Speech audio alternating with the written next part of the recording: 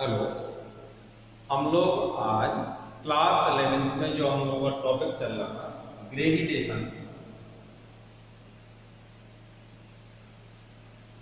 इसी को आगे कंटिन्यू करते गुरुत्व इसमें हम जो पहला टॉपिक लेंगे आज, वो लेंगे ग्रेविटेशनल पोटेंशियल यहाँ पर जो हम ग्रेविटेशनल पोटेंशियल यानी गुरुत्व विभाव वो पृथ्वी के सापेक्ष में लेते हैं। यानी पृथ्वी के बारे में चर्चा करेंगे, पृथ्वी का गुरुत्व विभाव यानी पृथ्वी से कुछ दूरी पर अगर हम गुरुत्व विभाव निकालना है तो उसके लिए। तो मान लिया एम द्रव्यमान के एम ई द्रव्यमान की यहाँ पर पृथ्वी, जिसकी त्रिज्या आर ई इससे कुछ दूरी पर यहाँ पर स्मॉल आर दूरी। एक बिंदु P है, इस पर हमें गुरुत्व विभव निकालना तो गुरुत्व विभव क्या कहना है?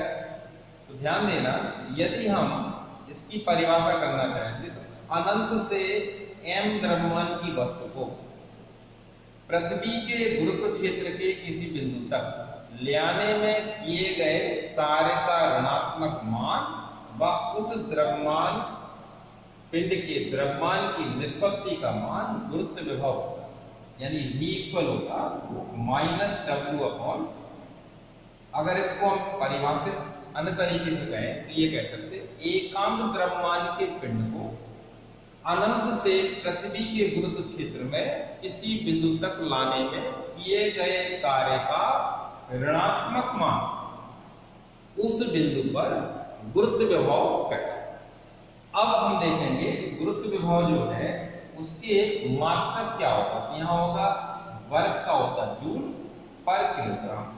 जूल पर केजी का मात्रक इसका डायमेंशनल फॉर्मूला निकालना हो तो W का डायमेंशनल फॉर्मूला यानी वर्ग का होता M L square D raise to power minus two upon M तो यहाँ एम से m कैंसिल हो जाएगा तो यहाँ बचेगा L square T raise to power इस प्रकार से हमने देखा कि गुरुत्व विभव का हमने विमीय सूत्र प्राप्त कर लिया L square T power minus two और गुरुत्व विभव का फॉर्मूला ये है।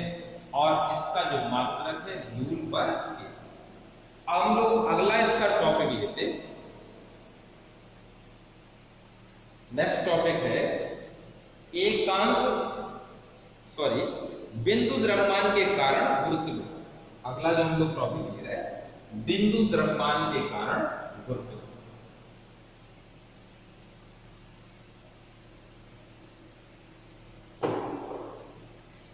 अगला जो टॉपिक है वह है बिंदु द्रव्यमान के कारण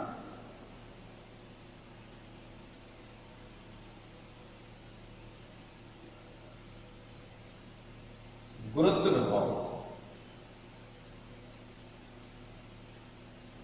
इसको इसके लिए मान लिया कि यहाँ पर जो गुरुत्व विभाव निकालना चाहे, वह पृथ्वी के परिप्रेक्ष्य में यहाँ भी निकालना चाहे। और इसमें लिखा बिंदु द्रव्यमान तो बिंदु द्रव्यमान के में मानेंगे तो इसको हम एम मास का एक कोई बॉडी है अगर पृथ्वी की बात करें तो यहाँ लिख देंगे एम तो यहाँ पर हमने मान लिया एम ई यानी द्रव्यमान, बिंदु द्रव्यमान जगह पर क्या हो गया? पृथ्वी हो गई। अब पृथ्वी के कारण से इसके केंद्र से मान लिया स्मॉल आर दूरी पर एक बिंदु ए है। ए पर हमें गुरुत्व विभव चाहिए। इसको कैसे निकालें? तो अभी हमने जो परिभाषा पढ़ी, इसमें ये कहा, अनंत से गुरुत्व क्षेत्र के अंदर उपस्थित किसी बिंदु तक एकांत द्रव्यमान पिंड को लाने में किया गया कार्य। जो होता है, उसका ऋणात्मक मान गुरुत्व कहलाता है, यानी v इक्वल लिखा था हमने माइनस डब्ल्यू अपॉन हम लोग इसी फॉर्मूले को उपयोग करें लेकिन यहाँ देखेंगे अब हमें इन्फिनिटी से लाना था एम मास का बॉडी एम मास की बॉडी जो है उसको कहाँ लाना है? इन्फिनिटी से लाना है। इन्फिनिटी से ए तक लाए, या ए से हम इन्फिनिटी तक ले जाए वर्ग बराबर होगा। तो हम मान लिया कि अब ए से इतनी तक के लिए वर्ग निकालेंगे, और ए से हम पहले बिंदु बी पर जाएँगे, फिर बिंदु सी पर जाएँगे, फिर बिंदु डी पर जाएँगे, फिर बिंदु सी पर जाएँगे।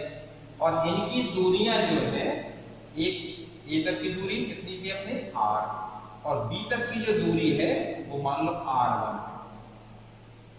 और सी तक की दूरी जो है आर टू है इसी प्रकार से डी तक की दूरी, आर थ्री, और ई e तक की आर फोर। इस प्रकार से R one, R two, R three, R four, ये दूरियाँ हैं क्रमशः B, C, D, E, F, ऐसे करके पॉइंट्स अब हम इतना करने के बाद देखेंगे। पहले हम कार्य का एक हिस्सा निकालेंगे एक टुकड़ा निकालेंगे। कहाँ से कहाँ तक? केवल ए से बी तक के लिए कार्य निकालना चाह रहे हैं। यानी हम चाहते हैं डब्ल्यू ए बी निकालना तो डब्ल्यू ए बी निकालने के लिए क्योंकि हमें चाहिए कार्य बराबर का बल गुणा विस्थापन तो ए से बी तक के दौरान ए से बी तक जाने में जो बल लगेगा, उसका मान चाहिए। तो इसके लिए हम पहले निकालेंगे यदि हम ए पर एम द्रव्यमान की वस्तु को रख लें तो बल कितना लगता है? एफ़ इक्वल होगा capital G M E M upon यहाँ से यहाँ तक की दूरी कितनी है? आर स्क्वायर ये न्यूटन के सार्वत्रिक गुरुत्वाकर्षण बल के नियम से हमने ही निकाला। इसी प्रकार से अगर हमने एफ़ बी एफ़ बी हो जाएगा G M E M upon R one का स्क्वायर इक्वेशन नंबर अब क्योंकि ए से बी तक जाने में ना तो हम एफ़ ए को सही मान सकते, ना हम एफ़ बी को सही मान सकते तो क्या करना पड़ेगा? तो इनका हमें गुणोत्तर वहाँ से निकालना पड़ेगा, यानी हम चाहते एफ़ ए बी निकालना एफ़ ए बी निकालने के लिए करना पड़ेगा एफ़ ए इंटू एफ़ अब इसमें इक्वेशन वन और टू से हम लोग वैल्यू पुट करेंगे और वैल्यू पुट करने के बाद इसको कैलकुलेट करके तो ध्यान देंगे एफ़ ए बी की वैल्यू यहाँ से निकालेंगे। जब इसमें वैल्यू रखेंगे तो ये सब के स्क्वायर हो जाएँगे, क्योंकि एफ़ में भी ये पद है और एफ़ बी में भी ये पद तो यहाँ पर आएगा G M E M upon इसका आर स्क्वायर का वर्गमूल हो जाएगा तो आर इसका हो जाएगा आर वन इस प्रकार से हमने ये देखा कि हमने एफ़ ए बी निकाल लिया, जिसकी वैल्यू आ गई G M E M upon R R अब हम निकालेंगे डब्ल्यू ए यानी कार्य निकालेंगे ए से बी तक जाने। तो ए से बी तक जाने में कार्य होगा। इस दौरान औसत बल जो है भी हम लोग निकाल चुके गुणा विस्थापन, ध्यान देंगे बी तक की डिस्टेंस है आर वन तो ए तक की डिस्टेंस है आर यहाँ हो जाएगा आर वन माइनस अब एफ़ ए बी की वैल्यू इसमें रखेंगे।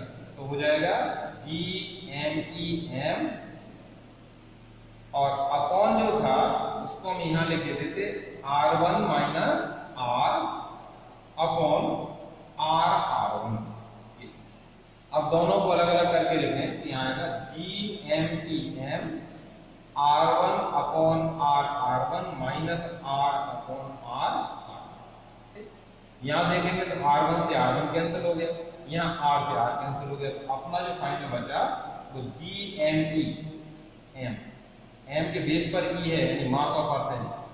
और यहाँ पर हो गया one upon R minus one upon R ठीक इसी प्रकार से हम डब्ल्यू बी सी निकाल सकते हैं। डब्ल्यू बी सी क्या होगा? WBC इक्वल हो जाएगा जी एन ई एम यहाँ होगा one upon R one minus one upon इसी प्रकार से हम लोग निकाल सकते डब्ल्यू सी डी तो आएगा G M E M one upon R two minus one upon इस प्रकार से ये कहाँ तक निकालेंगे अगर हम ये कहेंगे कुल कार्य कितना होगा तो डब्ल्यू निकालने के लिए लिखना पड़ेगा W A B plus W B C plus W C D and so कहाँ तक जाएँगे? इनमें ये वैल्यू हम रखें अगर इसको हम इक्वेशन इसको मान लें, फोर, ये फाइव ये सिक्स ठीक? और आगे की ऐसे इससे हम अगर वैल्यू रख दें तो देखें सब में जी एम ई एम को सब में कॉमन है। तो ये हम कॉमन निकाल लें। G M E M common आ गया। अब अंदर जो बचेगा, वो होगा one upon R minus one upon R one plus one upon R one minus one upon R two plus one upon R two ठीक? ऐसे फिर minus one upon R three और इनफिनिट तक जाएँगे। तो लास्ट में यहाँ तक जब पहुँचेंगे तो ये वन बाई इनफिनिट आएगा लास्ट में। अगर यहाँ ना देख रहा हो तो मौखिक जो हम बात बता रहे हैं, वो आपने सुन ली होगी कि यहाँ पर जो कंटिन्यू करते जाएँगे हम लोग तो वो कहाँ तक पहुँच जाएँगे? वन बाई इंफिनिटी तक। ये दिख रहे अब देखेंगे यहाँ इसमें ये प्लस का माइनस का माइनस प्लस ऐसे करके कैंसिल होते जाएँगे। तो पहला पद बचेगा आपका जीएमईएम और यहाँ पहला बचेगा वन बाई आर और लास्ट वाला बचेगा माइनस वन बाई इंफिनिटी क्योंकि वन बाई इंफिनिटी की वैल्यू ज़ीरो होती है, इस वजह से यहाँ आएगा G M E M upon R ये आएगा डब्ल्यू टोटल वर्क हम लोग का कहाँ से कहाँ तक? ए से इंफिनिटी तक। यही कार्य, चाहे ए से इंफिनिटी तक किया जाए, उतना ही कार्य मिलेगा। इंफिनिटी से ए तक लाए तब भी उतना ही कार्य मिलेगा। क्यों? क्योंकि कार्य एक अदिश राशि अब हम कहें कि जो फॉर्मूला हम लोगों ने देखा था पहले, यानी हम लोगों ने परिभाषा थी पहले, v इक्वल क्या होगा माइनस डब्ल्यू अपॉन एम इसमें ये w की वैल्यू रखें तो v इक्वल आएगा माइनस w की जगह होगा E M upon R into M ये m से m कैंसिल हो जाएगा तो v इक्वल आ गया minus G M E upon ये इतना अगर ये कहा जाए केवल कि पृथ्वी की सतह पर गुरुत्वीय विभव कितना हो तो आर की जगह पर आर ई आ जाए। इस प्रकार से हमने देखा कि बिंदु द्रव्यमान के कारण गुरुत्व विभव हमने निकाला, जिसमें बिंदु द्रव्यमान को हमने पृथ्वी के रूप में ले लिया। और ये गुरुत्व विभव को हमने कहा। अब आगे हम लोग इसमें कल देखेंगे गुरुत्वीय स्थिति ऊर्जा और गुरुत्व स्थिति ऊर्जा के डेरिवेशन को कंप्लीट करेंगे ठीक है?